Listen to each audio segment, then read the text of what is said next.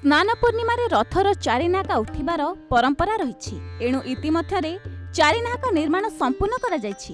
ସେହିଭଳି ଆସନ୍ତାକାଲି ଶୀତଳ ଷଷ୍ଠୀ। ଏହି ପବିତ୍ର ତିଥିରେ ମହାପ୍ରଭୁଙ୍କ ତିନି ରଥର ସମସ୍ତ ଚକ ଅଖ ସହିତ ସଂଯୋଗ କରାଯାଇ ଚକଡାର ନୀତି ଅନୁକୂଳ ହେବ।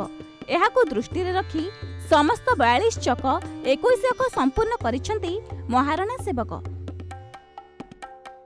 ସେପଟେ ତିନି ରଥର ପାଞ୍ଚ ଦଣ୍ଡାରେ ମହାରଣା ସେବକମାନେ ମୁହାଟ ପାର୍ଶ୍ୱ ମୁହାଟ ନିରାଡ଼ି କୋଣକୁଜ ସଂଯୋଗ କରିଛନ୍ତି। କୋଣକୁଜ ନିରାଡ଼ି ଓ ମୁହାଟ ଉପରେ ଚାଳିଆ କରି ସୁରକ୍ଷା ଦିଆଯାଇଛି।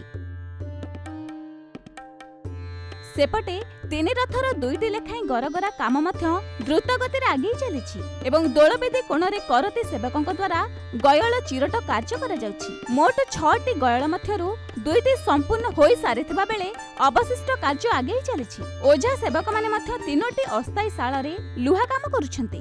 ଏବେ କୋଡ଼ିଏ ଏମ୍ଏମ୍ ର ଅଖ କଣ୍ଟା ଏବଂ ଚୌରସ କଣ୍ଟା ନିର୍ମାଣ କରାଯାଉଥିବା ବେଳେ ଆଗ ପାତାଳି କଣ୍ଟା କାମ ଦ୍ରୁତ ଗତିରେ ଆଗେଇ ଚାଲିଛି। ତାପରେ ଦଣ୍ଡା କଣ୍ଟା କାମ ମଧ୍ୟ ସମାନ୍ତରାଳ ଭାବେ ଆଗେଇ ଚାଲିଛି। ମହାପ୍ରଭୁଙ୍କ ରଥ ନିର୍ମାଣରେ ଲାଗିଥିବା ସେବକମାନେ ଦିନରାତି ଏକ କରି କାର୍ଯ୍ୟ କରି ଚାଲିଛନ୍ତି। ତେବେ କୋଭିଡ୍ ନାଇଣ୍ଟିନ୍କୁ ନେଇ ସକାଳେ ରଥକଳାକୁ ପ୍ରବେଶ ସମୟରେ ରଥ ନିର୍ମାଣରେ ନିୟୋଜିତ ହୋଇଥିବା ସବୁ ସେବକଙ୍କର ଥର୍ମାଲ ସ୍କ୍ରିନିଂ କରାଯାଉଛି ଏବଂ କୋଭିଡ୍ ଟେଷ୍ଟ ପାଇଁ ଯାଇଥିବା ସମସ୍ତ ଶହେ ଅଣାନବେ ଜଣଙ୍କ ସ୍ୱାବ୍ ନେଗେଟିଭ୍ ରହିଥିବା ସୂଚନା ମିଳିଛି।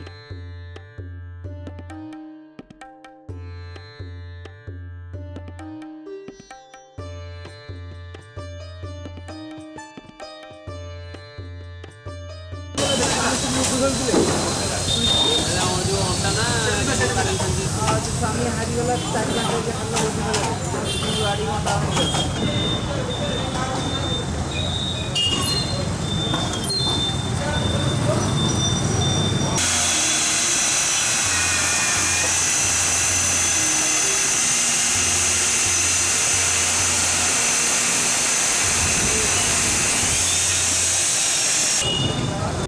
ପୁରୀରୁ ରାକେଶ କୁମାର ନନ୍ଦଙ୍କ ରିପୋର୍ଟ ଓଏନି ଖବର।